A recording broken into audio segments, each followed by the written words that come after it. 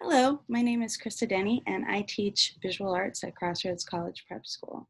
The art department offers a variety of mediums um, that we rotate every year, so there'll be different things for you to take.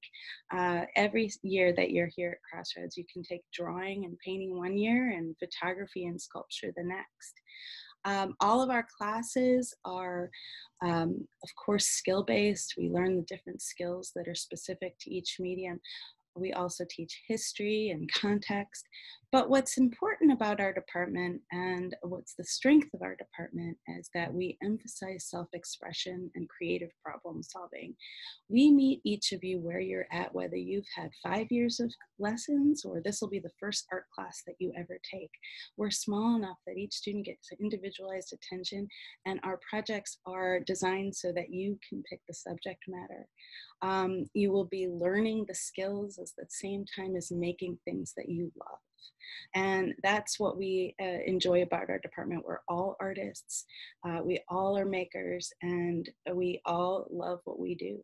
And so um, that's what makes our department so strong and so unique and a place you'll want to be.